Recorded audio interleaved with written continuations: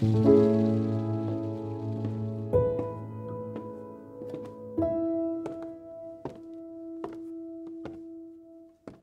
so we'll get the details on that for you. Also hearing about a Roy of the Rovers dream.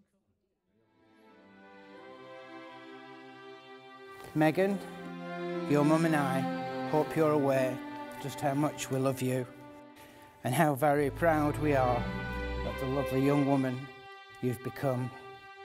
It's been an absolute joy for both your mum and me to watch what was a typical teenager develop into the beautiful, clever, compassionate, successful and extremely loving young lady it was my absolute honour and privilege to escort today.